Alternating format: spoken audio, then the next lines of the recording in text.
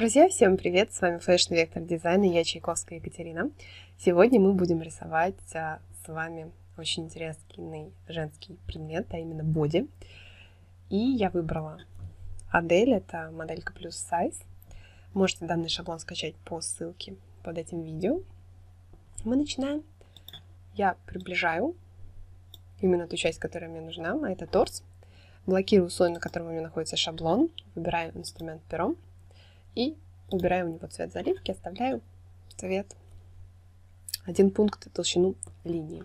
Почему мне нельзя рисовать? Потому что я не создала новый слой. Создаю новый слой и поехали. По сути, боди это купальник, который может выглядеть как футболка, как блузка, здесь застежечкой. Поэтому а, мы с вами и будем рисовать боди с длинным рукавом. При этом он будет у нас облегающего силуэта, значит мы подчеркнем всю красоту нашей с вами прекрасной дамы. Так. А здесь, а, в отличие от того шаблона, который я использовала достаточно часто, у меня нету а, линий купальника, поэтому придется эти линии делать самостоятельно. Я думаю, что мы справимся. Ничего страшного с этим не случится. Так, здесь у меня будет горловина. Кстати, чем отличаются часто боди? У них достаточно глубокие вырезы бывают. Поэтому не будем отходить от данной прекрасной традиции. Так, здесь тоже надо посмотреть форму обязательно. Оно будет прилегающее, чтобы было удобно в брюках или в юбке, в зависимости от того, с чем оно будет носиться. Ну, с теми же джинсами это все прекрасно сочетается.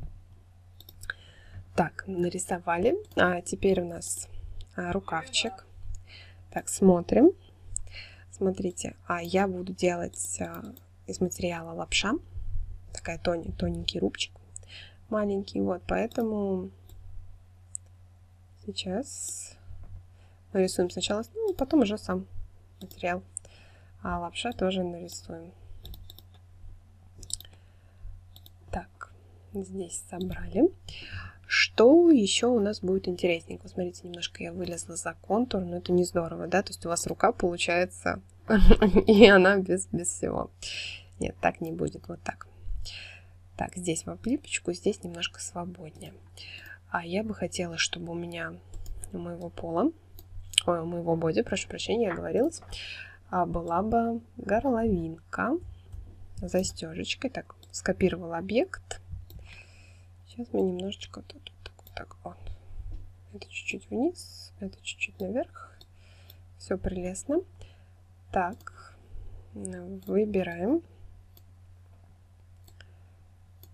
Это я тесьму пытаюсь сделать по горловине. Понимаю, что пока ничего не понятно. Сейчас, когда я ее проляпаю на место, вы увидите, что я такое пытаюсь так долго себя изобразить. Так, и вот так. Да. Вот. А, окно. Обработка контуров. Теперь все это вместе выбираем, разрезаем. Правой кнопочкой разгруппировать. Лишнее убираем. И ради вот этой штучки все и затевалось. Вот так. Да. Так мне и нравится. Теперь выбираем все это вместе. Берем инструмент зеркальное отражение, ставим на центр центральная линия. Начинаем вращать, нажимаем Shift, нажимаем Alt, отпускаем сначала кнопку мыши, потом Shift и Alt. Это важно, иначе у вас не получится фокус. Так, теперь здесь сливаем, попарно сливаем вот эти штучки, тесемочка. Тесемочка должна быть у меня единый слили. И что еще я хочу? Чтобы у меня вот здесь была планочка с пуговками. Я беру, делаю эту планочку той толщины, которую я считаю нужной, правильной, или то, которое у меня задумано. Выбрать свое, подставить. Вот такая планочка. И на ней будут кнопочки. У кнопочек сейчас толщину поправим контура. Давайте сделаем их не такими, а прям красивыми бельевыми. Какие красивые бельевые обычно у нас? Правильно, в виде бублика. Ободочек такой, который мы видим. Соответственно, сейчас мы сделаем ободочек. Ctrl-C, Ctrl-B. Все у меня получилось. Вон там их два. Теперь разрезаем. Разгруппировываем. И центр бублика удаляем. Вуаля! У меня получилась прекрасная штучка. Сейчас мы немножечко подгоним под размер. Маленький секрет. Если у вас такая деликатная вещь, то можно цвет, толщину контура немножечко снизить. Тогда будет у вас смотреться намного более элегантно. Не забывайте об этом интересном приеме. Так, теперь у нас наверх. Скажем, 2. Ctrl-D, Ctrl-D, Ctrl-D. 5 маленьких таких вот кнопочек у нас с вами размещено. Ну и естественно, что я забыла. Я забыла сделать контур, а, заливку. А теперь нам нужна с вами двойная строчка, потому что вот здесь у нас будет с вами обработочка а, под распашив по низу рукава. Что-то я заблудилась. Мне нужна пунктирная линия. Одна и вторая. Это у нас с вами трикотажик, поэтому и обработка у нас будет совершенно трикотажная. Вот так. Так, вниз, чтобы было две параллельные линии. Можно и по-другому рисовать, но так самый как бы такой простой способ. Отзеркаливаем сюда, чуть-чуть поправить. И, естественно, вот здесь у нас тоже с вами будет обработка. И, скорее всего, это будет распашив.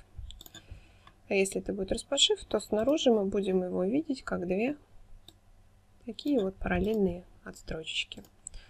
Не забываем его сюда расположить.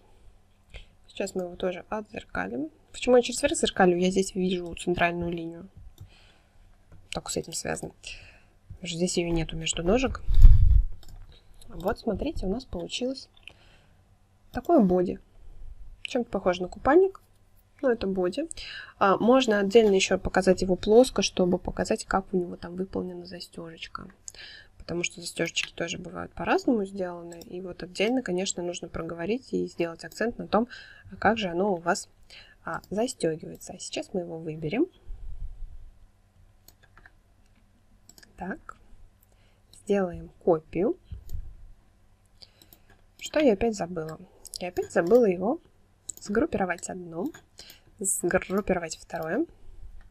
А, и давайте сделаем ему заливочку. Я хотела сделать заливку. Ну, например, оно у нас будет с вами телесного цвета, но в рубчик. Соответственно, убираем. Нам нужно подобрать телесный цвет. Я обычно здесь подбираю, можно подбирать, например, через образцы, можно через палитры. Вообще в Adobe Illustrator очень большая вариативность того, как можно подобрать цвет. Потом можно все равно его немножечко поменять.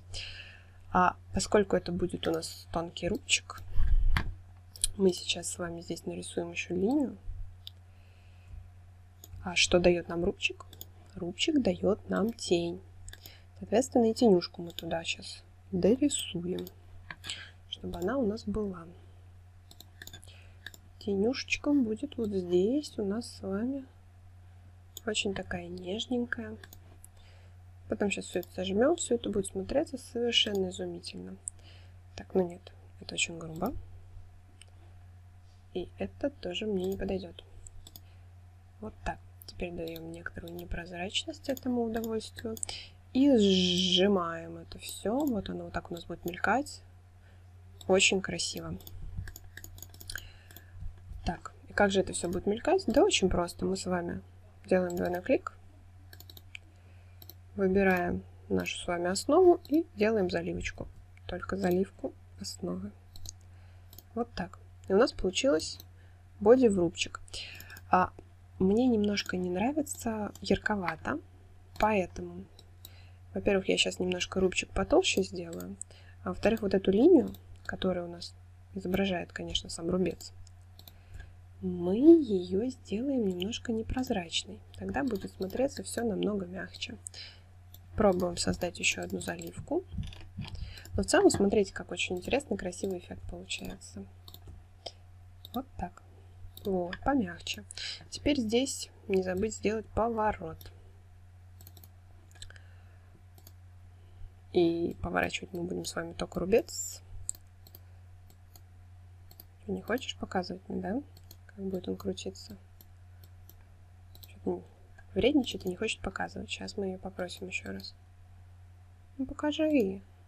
Объект ты вращаешь. А рубчик не хочешь. Так, завредничала. Двойной клик. Выбираем. И вот так. Так, двойной клик по инструменту поворот. И вот так. А вот, вот эта вот маленькая коррекция угла, она дает очень интересный такой эффект, потому что, ну, прям смотрится сразу по-другому. Смотрится, что да, вот здесь вот с наклоном, да. Так, какой там у нас цвет-то был основной? Вот он. Этот цвет мы сейчас сюда запомним с вами. Вот так. И зальем им... Залью гладким цветом. Зачем? Чтобы было, ну, поинтереснее эскиз смотрелся. Это такая в чем-то хитрость, да, когда вот здесь все-таки будет гладенько залито. Можно, конечно, вот этой ребристостью залить, но так, ну, смотрите, как красиво а, получается все очерчивает. Вот такая у нас получилась штучка боди. Это лишнее убираем. Не забывайте всякий мусор убирать. На этом все. Если вам понравилось видео, ставьте лайк. Не забывайте подписаться на канал и поставить уведомление колокольчик, чтобы получать уведомления о новых видео. Каждый вторник мы рисуем эскизы. Если у вас появились вопросы или вы хотите предложить, что порисовать, пишите все в комментариях. Я обязательно все это читаю, отвечаю и делаю видео, потому что вы меня просите. На этом все. До скорых встреч. Пока-пока.